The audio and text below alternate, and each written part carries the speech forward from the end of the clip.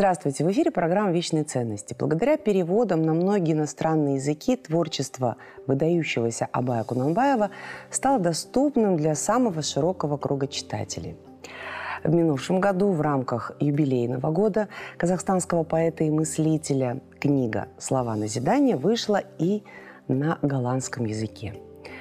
Сегодня в нашей студии один из авторов этого перевода – востоковед, историк литературы, кандидат филологических наук Зифа Алуа Ауэзова. Здравствуйте. Здравствуйте. Спасибо, Зиф Муратовна, что откликнулись на наше приглашение и сегодня с нами в этой студии.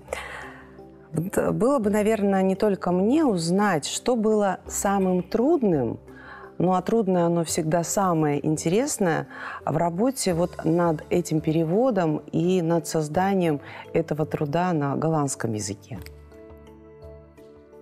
Наверное, э, самым э, сложным вообще является осознание того, каким образом концепция э, слов назиданий которые были созданы в определенную историческую эпоху, которые, как, да, и реалии этой эпохи, они сильно отличались от того, что происходило в Европе, в частности в Голландии, если мы говорим о переводе на голландский язык. То есть, эм, пожалуй, самым сложным является актуализировать язык перевода таким образом, чтобы и эпоха с ее реалиями, с наиболее важными концепциями была узнаваема, и с другой стороны, эм, чтобы оригинал тоже сильно не страдал э, при этом. Э, в качестве примера можно даже взять само название этого произведения. На русском языке. Это произведение известно больше всего как «Книга назиданий», э, хотя известны также и переводы как «Книга смыслов» или «Книга слов», и на нидерландском языке, в то время как а, оригинал э, на казахском языке, да, харасюздер, харасюздер тоже как это интерпретировать? Буквально это черные слова. Но черные это вовсе не черные, это не мрачные слова, это проза, да, то есть в отличие от поэзии, которая является более торжественным, более э, ну, высоким жанром литературы, формы выражения в литературе, Э, проза считается более обыденной. То есть это как бы слова обыденные или слова повседневные, слова насущные. То есть мне ближе всего был бы на русском языке перевод насущные слова или насущные наставления, что-то вот в этом роде.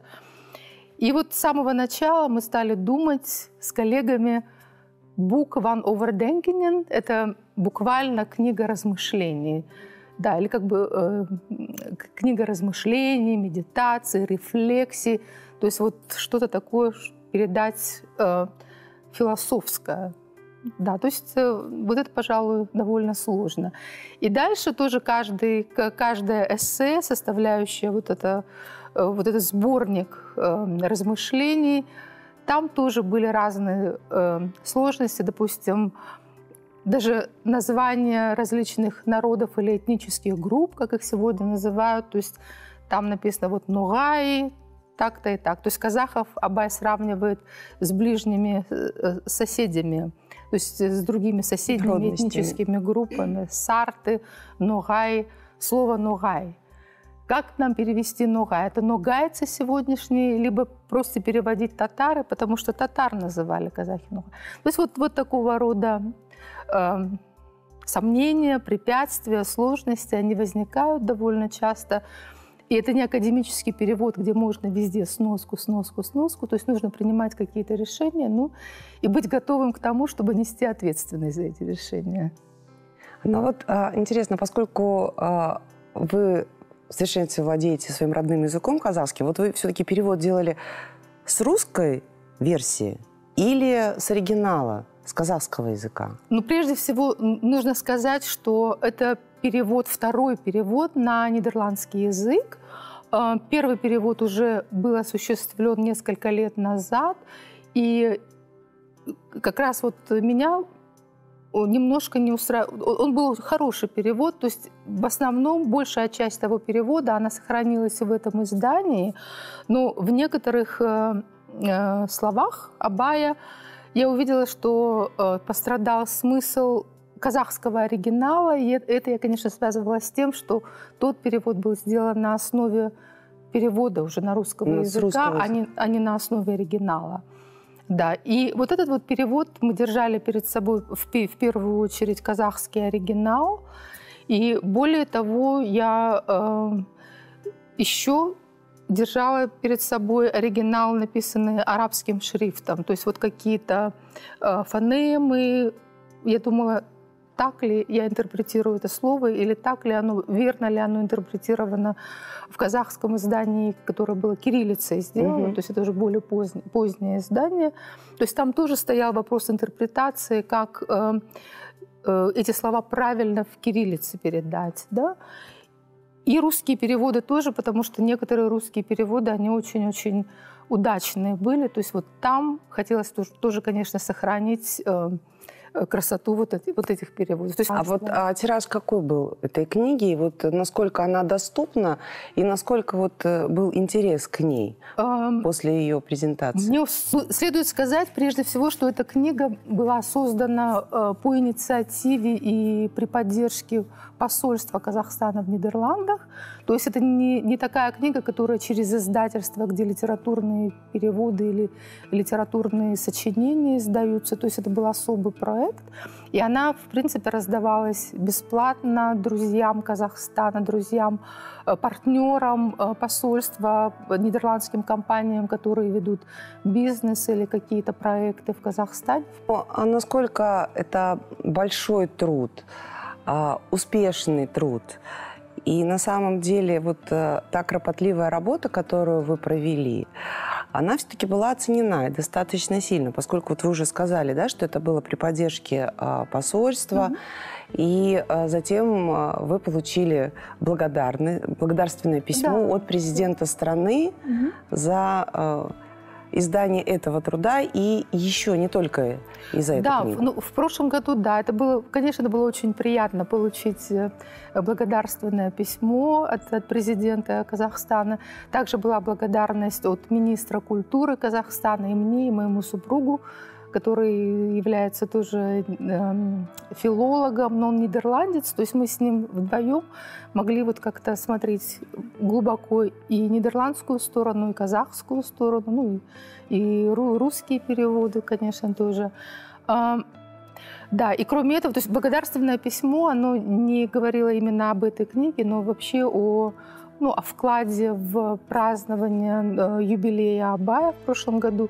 И э, моим вторым тоже не менее интересным, по-моему, значимым проектом было участие в переводе песен Абая. То есть был такой красивый проект, и поскольку я как любитель занимаюсь музыкой, мне было очень э, приятно переводить именно песни Абая на английский язык. Но я делала подстрочник и потом уже конечную форму поэтическую Ей придавал ну, native speaker, то есть а, англоязычный профессор филологии в Кембридже.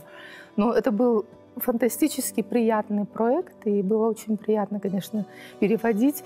И я сама впервые, вот аж 15 песен на Бае, я не знала, что там так много куплетов.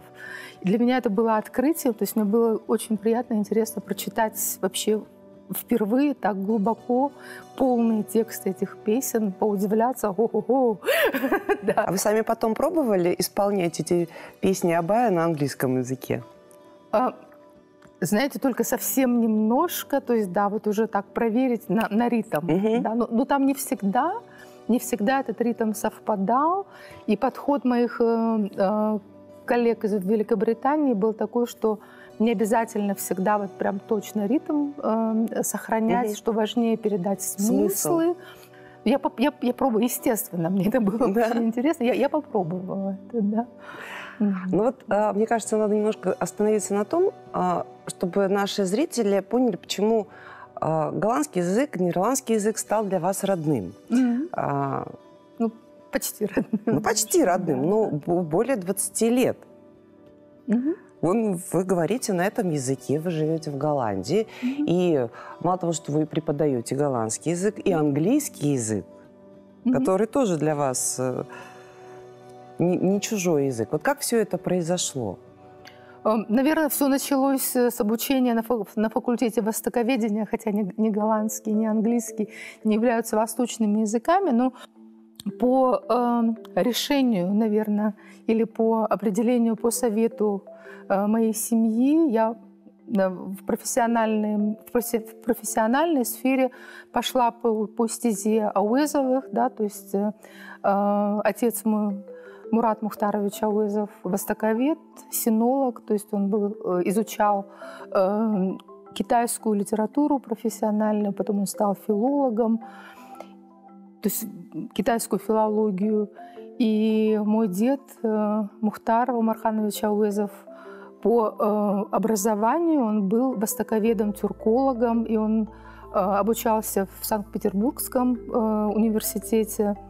И я тоже обучалась в этом, в этом же университете на факультете востоковедения как арабист уже. И э, для того, чтобы стать арабистом, нужно было очень глубоко, хорошо изучать английский язык, и, и хотя бы немного французский и немецкий для того, чтобы уметь работать с источниками по э, востоковедению. А голландский? Голландский язык... Вы, конечно, обмолвились уже, да. и можно понять, но тем не менее, да. хочется от вас услышать. Но голландский язык э, связан уже с, э, с моей личной жизнью. То есть в Ленинграде мы познакомились э, с моим коллегой, тоже недавно, нет, он еще тогда не защитился, тоже был аспирантом, арабистом, Робертом Эрмерсом, и произошло это на э, конференции в, в Институте Востоковедения в Ленинграде. И Роберт Эрмерс оказался через год моим супругом, то есть мы поженились, мы познакомились, нам было очень интересно друг с другом говорить о, об арабистике, о Центральной Азии. И самое интересное, его очень интересовал Абай, потому что он тогда хотел выучить казахский язык. Роберт к тому времени хорошо владел арабским и турецким языками. Ему хотелось еще изучить один из языков Центральной Азии. И вот казахский показался ему очень интересным, особенно после знакомства нашего. Сначала приехал Роберт в Казахстан после защиты диссертации. И здесь он хорошо освоил казахский язык, и здесь он был известен как Кио Бала Мурата Ауэзова. Ему было бы стыдно не изучать казахский язык. Ну и потом настала моя очередь стать келен нидерландской. Когда мы поехали в Нидерланды, конечно, мне очень хотелось э, довести знания нидерландского языка, но до более или менее приличного состояния. Но это очень сложно. А дома вы на каком языке говорите? Дома мы говорим ну, минимум, на, на, минимум на трех языках. Да? То есть мы говорим на казахском на обыденные темы, мы переходим на русский, когда мы говорим про политику или вот про, про, про, про экономику здесь, вот, или в Казахстане, или в России, потому что, само собой, когда переходишь на, на эти термины, и на нидерландском языке просто, когда, когда дети, когда дети дома, да, мы живем сейчас втроем, наш младший сын еще с нами живет, студент.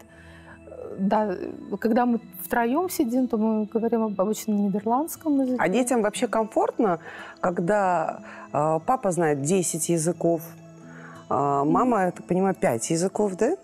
Или больше. Или больше. Или, кто, ну, в общем так, родители, считает, давайте так, да, родители да. знают 10 языков, вот каково жить детям в этой среде? Ну, э, э, если детям не, не говорить, что мы говорим на разных языках, по-моему, это даже не воспринимается. То есть для них это как-то... Ну, они растут в этой среде, да, и они говорят на этих... То есть они говорят те же слова, которые... Ну, используют те же слова, те же выражения, которые используют их родители. Ну, мы, мы большой проблемы в этом не видели. По-моему, сейчас тоже, я, я сейчас вижу очень-очень много студентов в Казахстане, они тоже очень хорошо владеют иностранными языками. Английский, по-моему, тоже уже стал таким Ну, здесь мне просто легко в оправдании себя хочу сказать, дети всегда лучше нас. Ну, да, ну, это на самом деле, это на самом деле так.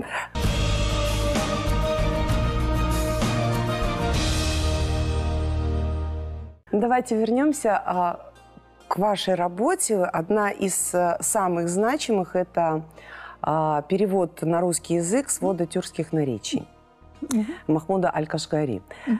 Вот Расскажите, пожалуйста, вот сегодня в чем самое главное а, ценность и в чем вообще вот почему мы должны помнить, знать и ценить этот труд шестого века?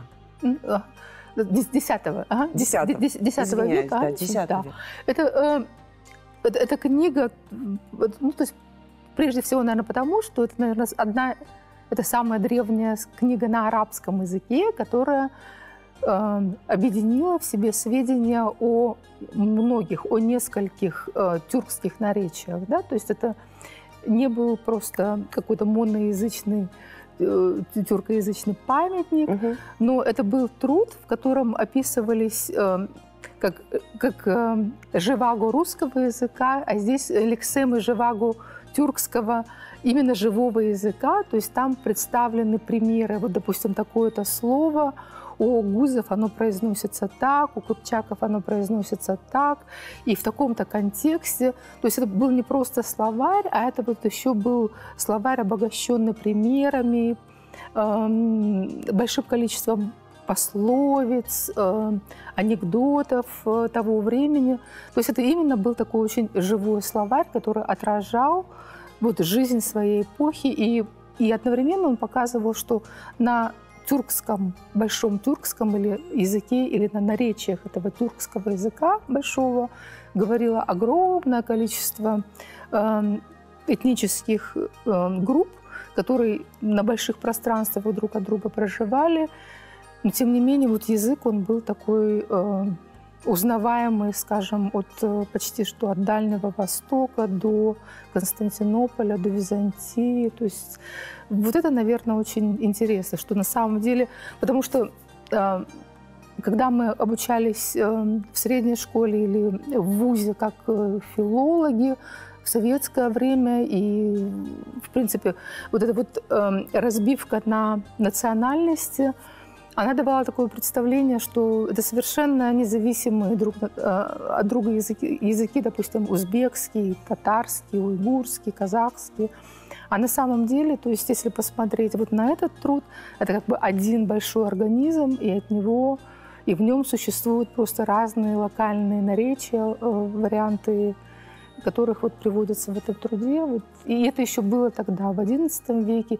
И по этому труду понятно, что они существовали уже много веков. Ну да, если много веков, да, там 10-11 mm-hmm. век, и уже создается этот словарь, уже не просто так создается, mm-hmm. он создается для чего-то, то есть он mm-hmm. создается для работы. Mm-hmm. И понимание, да. насколько это все значимо, да, вот в какой-то да. геополитической вообще да. э, самой реалии. Да, ну еще конкретно, наверное, очень важно было э, э, то, что в это время, в XI веке, то есть в X, в начале XI века, э, тюркские племена, то есть несколько тюркских тюркских племен, они обрели политическую власть внутри аббасидского халифата, то есть вот такой вот какой-то триумфальный характер предисловия говорит об этом, что вот теперь уже наступила пора всему мусульманскому миру познакомиться вот с тюркским языком, с языком э, храбрых э, воинов, которые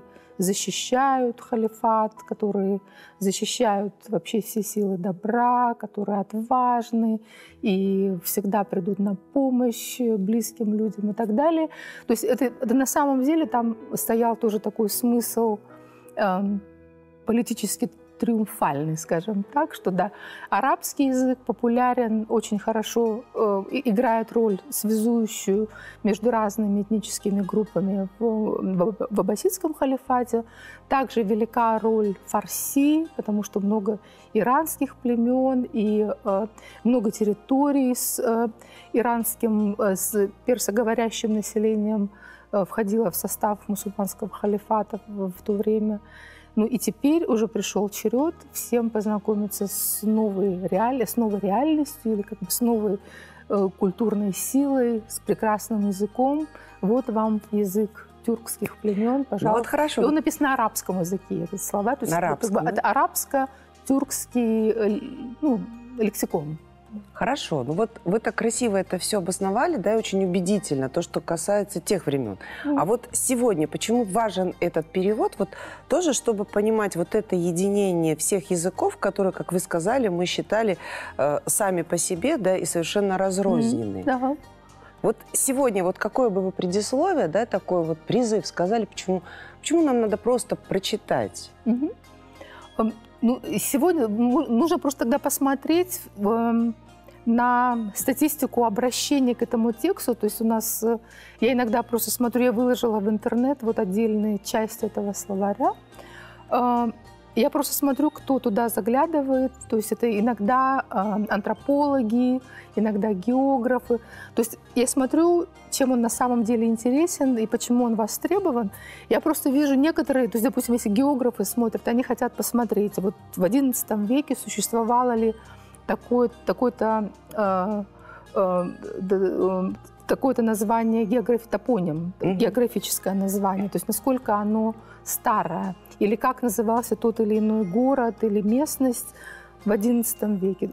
Такие сведения нужно найти. А, кто-то там ищет пословицы, то есть вот пословицы, которые, допустим, узнаваемые или известны и в казахском, и в турецком, и в узбекском, существовали они тогда или нет. Ага, часто бывает, что существовали, и как они звучали в это время – то есть за пословицами, исторические фигуры. То есть там много говорится об Александре Македонском. Да, и чем отличаются вот эти сюжеты, которые вошли в тюркскую версию, от тех, которые известны, допустим, по Шахнаме или да, вот по, по, по другим источникам. То есть литературоведческие, историографические, географические сведения. То есть вот, вот это вот все там можно найти. И, ну, и также это не скучное повествование, это не скучный словарь. То есть там приводится... То есть мне сразу такая ассоциация, большой энциклопедический словарь для тех, кто хочет познавать да, этот мир. Да, на самом деле, его. да. И там много шуток, и иногда не совсем пристойных, но тоже интересно, это что тоже жизнь. Да, это тоже жизнь, что в XI веке это было дозволительно вообще. Для меня это было неожиданно. Ну, вот мы поговорили о том, да. а, на каком языке вы разговариваете, на каких языках вы разговариваете дома, а, на каких языках а, вы работаете. А вот книги все-таки, на каком языке вы больше всего любите читать? А, да, конечно, на, на русском языке, потому что на русском языке очень много хорошей литературы, и она продолжает создаваться. И я перечитываю классику, и, и иногда детективы, признаюсь. Да, но на нидерландском языке я читаю новую литературу. То есть если на русском языке я читаю, ну, как, как-то, не знаю, наверное, больше э, литературы такой вот, которая мне уже знакома, mm-hmm. вот как бы чтобы отдохнуть и да, вспомнить что-то, классику перечитать. На нидерландском языке я читаю новинки, и они появляются просто очень быстро и постоянно.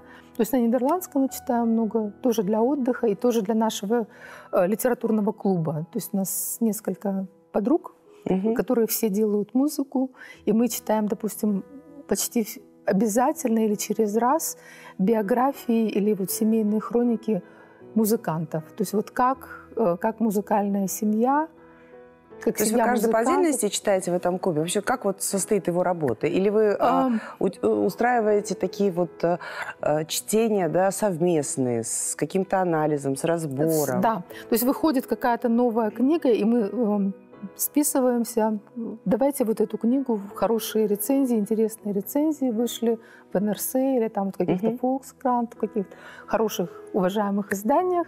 Выбираем книгу и договариваемся, допустим, через полтора месяца встречаемся или у меня, или у кого-нибудь дома, либо если там какие-то реалии определенного города, мы едем туда, Сначала идем, смотрим на здание, где жили герои.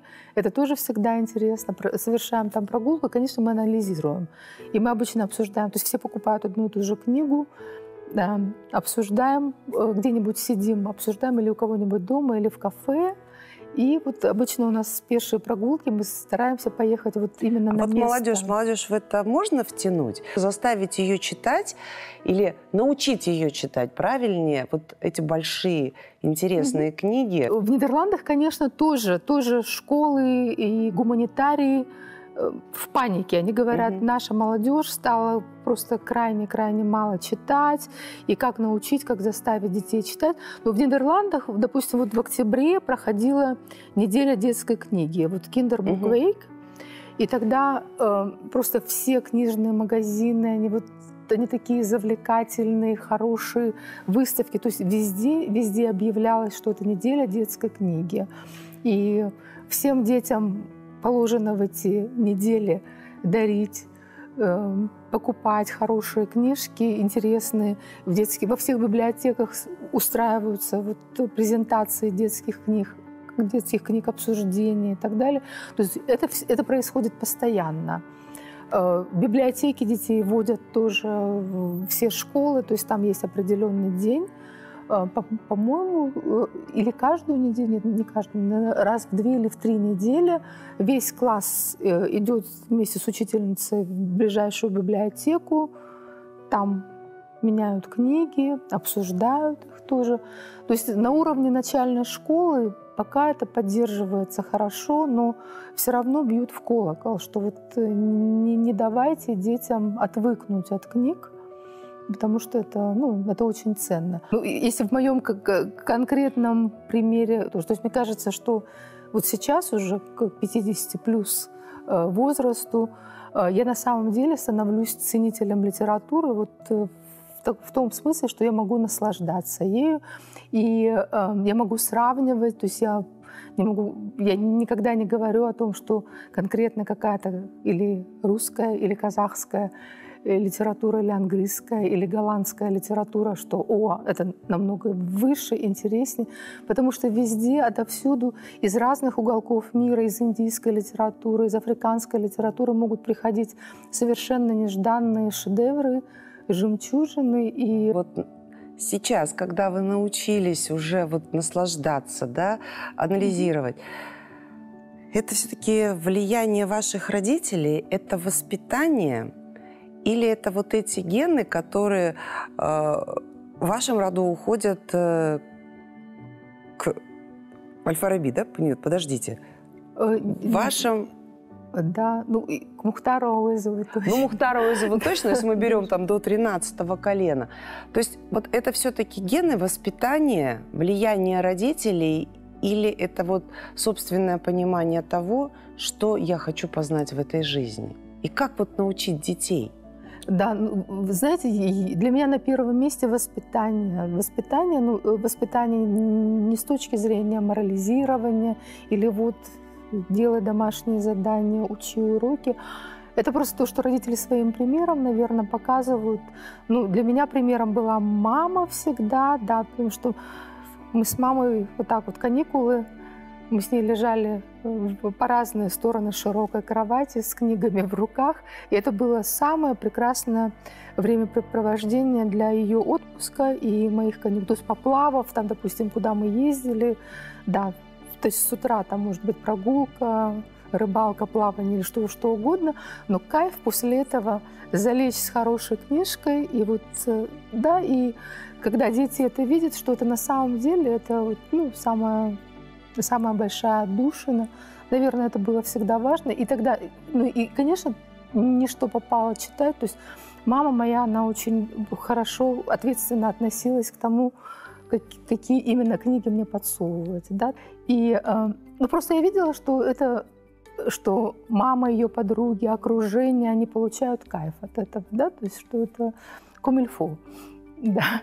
И мне кажется, что наши дети просто это тоже видят, что у нас в доме, мы, мы с мужем шутим, у нас больше всего, то есть из всех вещей, вот, допустим, ложка, вилка, стул, стул, словарь. У нас больше всего словарей в доме. Ну, Все-таки ну, это воспитание, да, и которое... Но это не насильственное воспитание, то есть это своим примером, наверное, как-то. Да. Это просто та, это жизнь семьи. Наверное, да, да.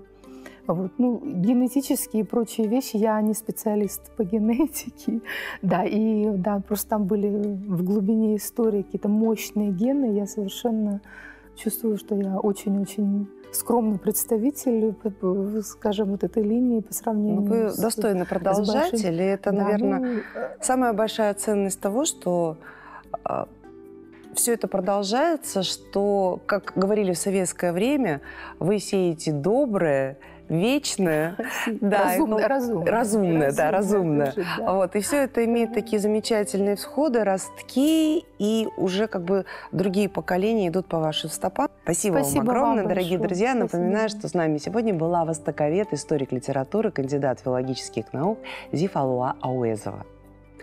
Это программа «Вечные ценности». Увидимся.